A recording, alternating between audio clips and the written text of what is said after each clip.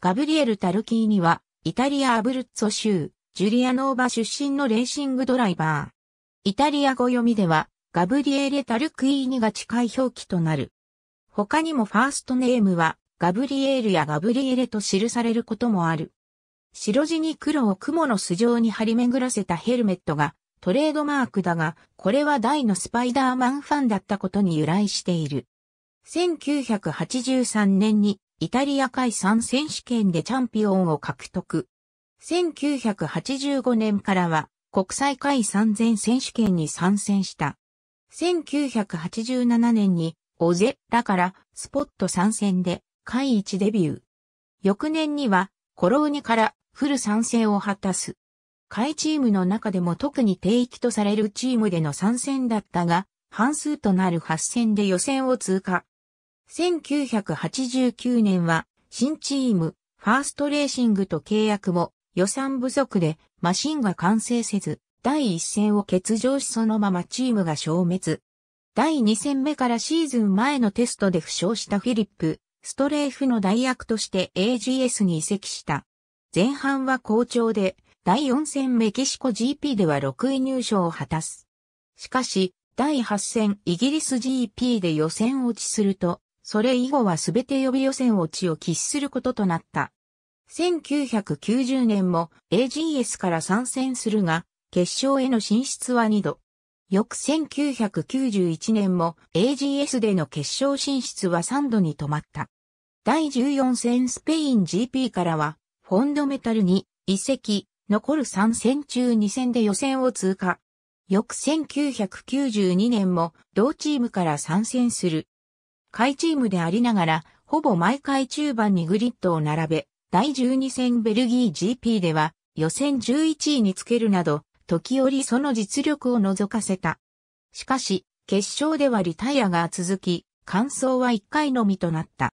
結局第13戦イタリア GP を最後とし、残り3戦を残した時点でチームは資金難から撤退した。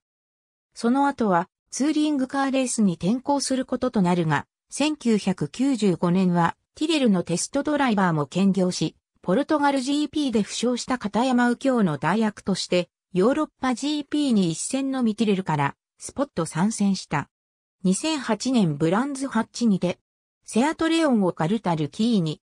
1994年にツーリングカーレースに移り、同年はアルファロメオを買って、イギリスツーリングカー選手権に参戦した。この年タルキーには、開幕5連勝を含め8勝をマークする圧倒的強さでチャンピオンを獲得する。1995、1996年はクラス1ツーリングの DTM 及び ITC をメインに戦い、BTCC にはスポットで参戦。クラス1消滅後はイギリス選手権に並行し、イタリア選手権にも参戦し、イギリス選手権では1990年代後半はデビッド・リチャーズのプロドライブチームに所属した。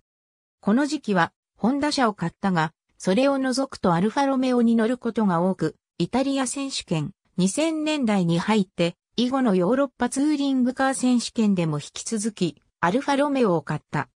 2003年にはそのイタックでチャンピオンタイトルを獲得し、その後もしばしばアンディプリオールら濁した。同選手権が世界ツーリングカー選手権となった2005年まではアルファロメオに所属したが、2006年にセアトに移籍した。この年は移籍初年度ながらランキング5位、セアト勢の中では同じく移籍初年度のイバン・ミュラーにこそ遅れを取ったものの僅差の2番手で終え、貫禄を見せた。2009年、アウグスト・ファルフスやイバン・ミュラーとの争いを制して、WTCC のチャンピオンを獲得。47歳にして、初の世界タイトルを手にした。2013年は、ホンダレーシングチームジャスに移籍、チームメイトのティアゴ・モンテーロと共に、シビックで WTCC に参戦する。その後、2015年ロシアのマニュファクチャラーラーダに移籍。2016年まで WTCC に参戦した。2018年には WTCC に代わり、新設された WTCR に BRC レーシングチームからヒュンダイ i30NTCR を買って参戦。56歳にして FIA ワールドカップ王者となる快挙を達成した。2019年も同じ体制で参戦。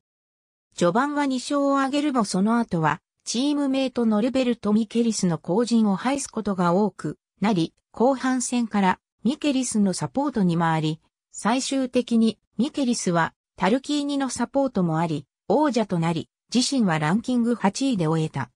回1での経歴は、予選落ち19回、予備予選落ち20回、決勝不参戦、計39回、入賞1回という不名誉なものである。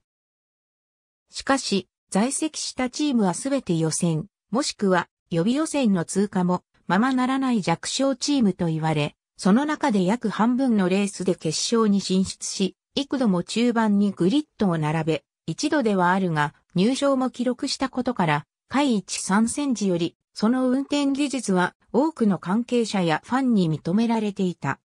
このことからロベルト・モレノと並び、実力を持ちながら、マシンに恵まれなかったドライバーの代表格としてよく名前が挙がる。モレノが非常に短期間とはいえ、トップチームのベネトンに在籍経験があり、その間に表彰台やファステストラップを獲得したことを踏まえ、恵まれなかったという点では、モレノの上を行っているとも言われる。またタルキーニの生涯唯一のポイントは AGS で記録したものだが、通算2ポイントしか獲得できなかった AGS のもう1ポイントはくしくもモレノが取ったものである。偶然ではあるがタルキーニもモレノも共に1995年を最後に外一から引退している。ツーリングカーレースでは前述した2003年のイタック2009年の WTCC など多くのタイトルを獲得、目覚ましい活躍を見せているだけに、一度会一のトップチームで走る姿を見てみたかったとの声は、今日においても多い。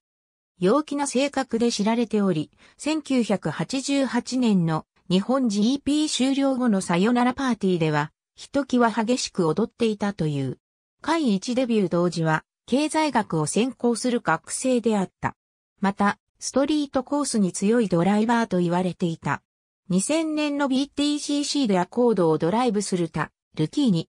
イタリアスーパーツーリング選手権世界ツーリングカーカップイギリスツーリングカー選手権、ドイツスーパーツーリング選手権、ヨーロッパツーリングカー選手権世界、ツーリングカー選手権、太字は、ポールポジション。